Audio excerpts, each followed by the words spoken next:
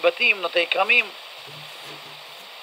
ואילו במלחמת מצווה הם חייבים, כי מלחמת מצווה, חתנים, בוני בתים ונוטי כרמים לא פטורים ממצוות.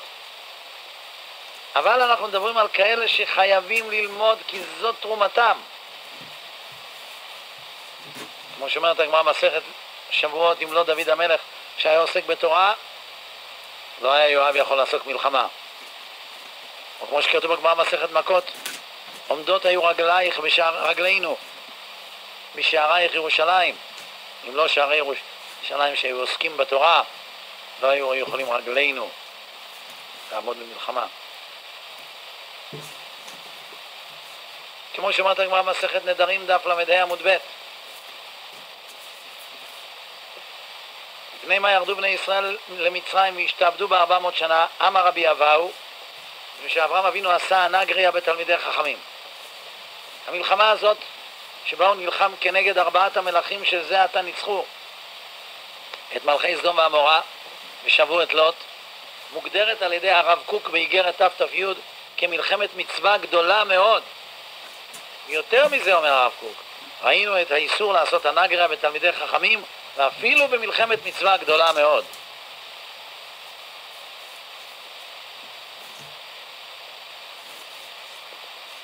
והמהר"ל אומר בגבורות לשם דף נ"ה שאברהם אבינו היה צריך להאמין, זה לשון המהר"ל, ולא לקחת למלחמה את מי שלא צריך היה לקחת למלחמה.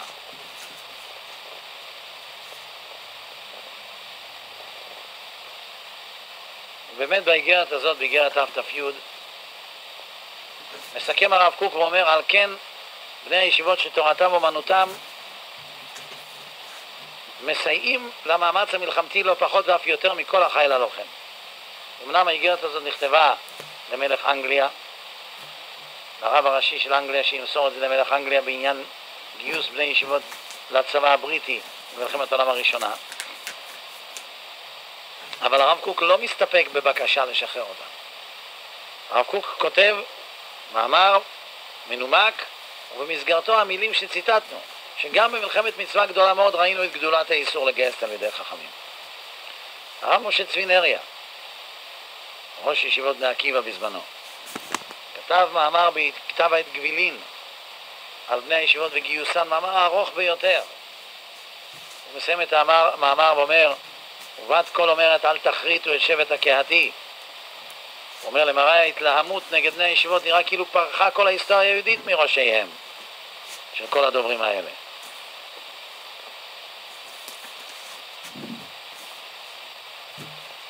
בזמנו באחת ההתפרצויות של המלחמה נגד גיוס בני ישיבות, נגד בני ישיבות, היו בחירות במפלגה הדתית-לאומית דאז, היום כבר אין דבר כזה. קרא לגייס בני ישיבות במסגרת ישיבות ההסדר. החלטה שבהזדמנות אחרת הרב נריה קרא לה רצח כמניין הצירים שתמכו בה. והם פרסמו תמונות של רבנים שקוראים להצביע על המפלגה, והרב, הרבנים החשובים ביותר, לשיטתם, שהדפיסו תמונתם בגדול, היו הרב משה צבי נריה והרב שאול ישראלי. אני כתבתי מכתב לשניהם, אבל הרב משה צבי נריה כבר הביע את דעתו ואין צורך לחזור ולצטט. מה שציטטנו זה עתה. כתבתי מכתב לרב שאול ישראלי ושאלתי אותו מה דעתו בעניין גיוס בני ישיבות, לאור העובדה שהמפד"ל שקוראת לגייס בני ישיבות מפיצה את תמונתו כמי שקורא להצביע להם. הוא כותב לי תשובה, דעתי כמובן לא השתנתה, והיא באופן מוחלט נגד גיוס בני ישיבות. המכתב היחיד שמפיצים מפעם לפעם כאילו אדם גדול בתורה היה בעד, מכתב שמיוחס לרב זבין, שהודפס בתש"ח תחת הכותרת אחד הרבנים. משפחתו של הרב זבין מכחישים שהרב זבין מעולם לא כתב את המכתב הזה. אבל בשנת תשל"ד כתב הרב זבין, נאם הרב זבין במועצת הרבנות הראשית. והדברים נכתבו גם בעיתון הצופה וגם בעיתון פנים אל פנים. שם הוא כותב בחריפות רבה נגד אלה שמנסים לגייס בני ישיבות. הרב אברהם שפירא, הרב מרדכי אליהו, הרבנים הראשיים לישראל, בהיותם רבנים הראשיים לישראל, דיברו בכנסת, בוועדה מיוחדת שצורפה מוועדת החינוך וועדת החוץ והביטחון, שדנה בנושא הזה. באופן חריף ונחרץ נגד גיוס בני ישיבות. אז על מה מדברים בכלל? אז קודם כל צריך להבין, מה שרב חיים מוולוז'ין אומר בנפש החיים, שער ד', פרק י"א וי"ב. פרק י"א כותב רב חיים מוולוז'ין, שזוהי אמת בלתי שום ספק כלל, שאם העולם כולו היה פנוי לרגע אחד מהעסק וההתבוננות שלנו בתורה, כהרף עין היו כל העולמות, העליונים והתחתונים, הופכים לאפס ותוהו חס ושלום. לכן ריבוי אורם של העולמות, או מיעוטו חס ושלום, הכל לפי ריבוי עסקנו בה, או מיעוטו. וכל שכן, הוא אומר בפרק י"ב, חידושים אמיתיים דאורייתא, שקודש הבריך הוא נשיק להם ונתי לנו מתעתר בהון והם הם השמיים החדשים והארץ החדשה. כלומר, לימוד תורה מקיים את העולם הפיזי, וחידושי תורה בונה את העולם הבא. אז כמה בני ישיבות צריך? שליש מהחיל הלוחם לפי המדרש בפרשת מדיין, כשכל השאר משלבים תורה עם דרך ארץ. מה קורה אם כל השאר, או רוב השאר, או רבים מאוד מהשאר, זה לא תורה ולא דרך ארץ?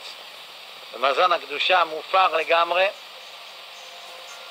בוודאי שמדובר בלנעוץ בבית המדרש חרב ולהגיד כולם לבית המדרש, כמו שעשה חזקיהו, שהכניס את כולם לבית המדרש ולא נמצאו תינוק ותינוקת שלא יודעים את הסוגיות המורכבות ביותר בש"ס, וכו בעל עול מפני שמן.